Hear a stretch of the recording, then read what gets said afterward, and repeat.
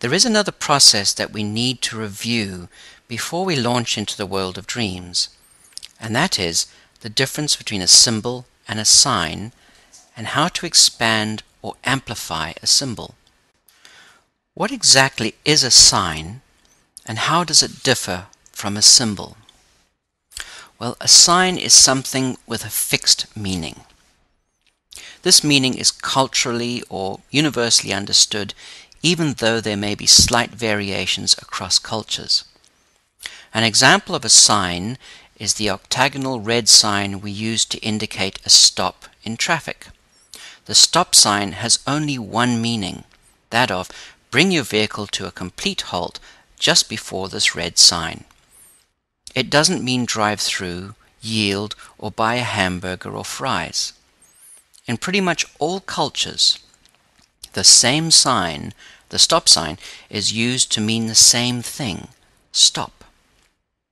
Another sign would be the red exit sign that we see above a door in a movie theater or an office.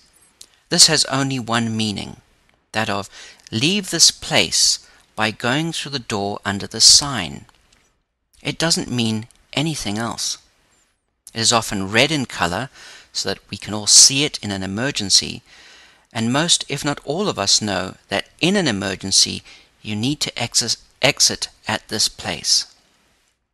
So a sign is some word, a shape, or an object that has a single fixed meaning. Now, here is where we run into some difficulties when we speak of symbols and signs. Those of you that have some knowledge of classical Freudian psychoanalysis will know that many of the objects that Freud interpreted in dreams, say hills or tunnels or apples or bananas, were referred to in a way that made them signs. The apple equals the female breast in Freudian dream interpretation, or the banana means the male penis. One sign has one meaning so it is quite incorrect from a Jungian perspective to interpret dream imagery in fixed ways. From this perspective, stay away from those dreadful dream dictionaries you find in bookstores that tell you if you dreamt of an apple, it means a breast, or any other such fixed meaning. These books should be called dream sign dictionaries and not dream symbol dictionaries. Well then, if this is the case for signs having fixed meanings, how do they differ from symbols? A crucial difference is that a symbol does not have a fixed singular meaning.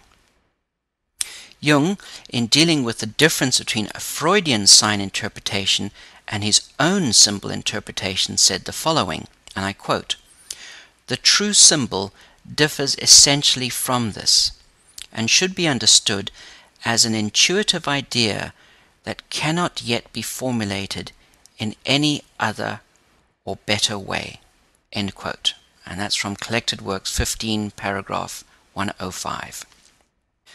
Better still, Jung also said, and I quote, a symbol always presupposes that the chosen expression is the best possible description or formulation of a relatively unknown fact, which is nonetheless known to exist or is postulated as existing. That's from Collected Works 6, paragraph 814. But this leaves us in some difficulty. How then do we know what a symbol means? What if I get it wrong and say it means something completely different from someone else? Well, in this situation, you are quite safe because you know what a symbol means to you better than anyone else, because you get a meaning about a symbol from your own unconscious, your own feelings, and your own experiences. Let's take a simple example. Say you dreamt of a horse. You told your dream to a friend and then began to explain the meaning of the horse. In other words, you began to enlarge on the meaning of the symbol. As a child, you may have been thrown from a horse and broken your arm and never ridden one since. You may dislike and fear horses as a result and find the appearance of a horse symbol in your dream to be scary and threatening. so the meaning of the horse symbol to you is very negative. Your friend, on the other hand, may have been raised on a cattle ranch and spent many hours of his childhood on the back of a horse, rounding up cattle. He may have had a favorite horse that he trained and rode for the years he spent at home on the ranch. To him, the horse is a solid, powerful, dependable creature that helped do his ranch chores, was his good friend, and helped him get through some difficult terrain or times. The horse symbol for him is one of a positive, loyal, dependable friend. This is quite different to your meaning of the horse. So, which one is wrong in the meaning of the horse symbol, you or your rancher friend?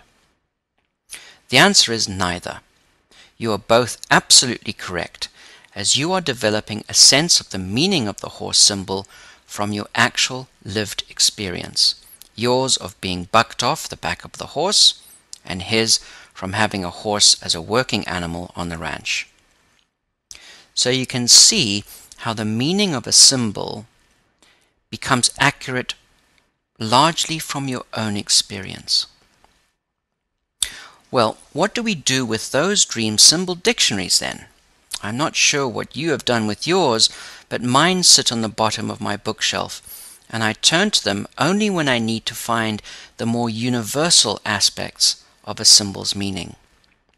You are the best symbol dictionary in the world, as you rely on your own psyche to provide the meaning. But this isn't where it all ends, as all we have really done is to develop our personal associations to the symbol. From these associations, we do need to enlarge our symbol by tapping into the universal nature of the symbol, meaning that as symbols are such powerful images, and exist in the collective unconscious, we need to see how different cultures attribute meaning to a universal symbol. This means that the core meaning of a symbol is the same across cultures, but each culture will add something specific to its own cultural meaning of a symbol. And it's here that we need to dust off those symbol dictionaries in our bookshelves and do some research. So can you see how massively different a symbol and a sign are?